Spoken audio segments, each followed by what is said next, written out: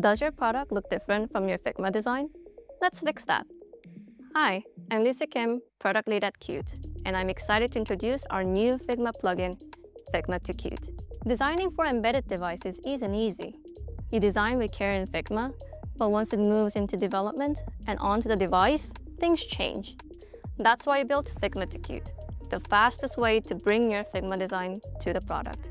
It helps you design and handoff in confidence so you can preserve your design all the way from Figma to Qt and to the final product.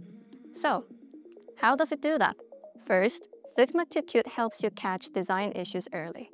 As you design, the plugin checks for limitations like properties unsupported in Qt.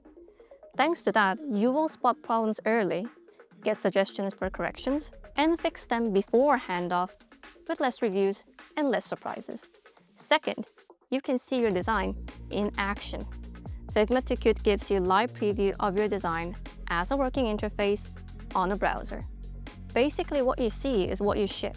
You don't need to cross fingers and wait anymore for implementation results. Finally, no more PDFs, no more static prototypes. The plugin converts your Figma designs into clean QML code ready for developers to use right away. They don't need to guess how your design works anymore. They just need to unzip, open, and edit in their favorite tools. We now have our first public beta out in Figma community.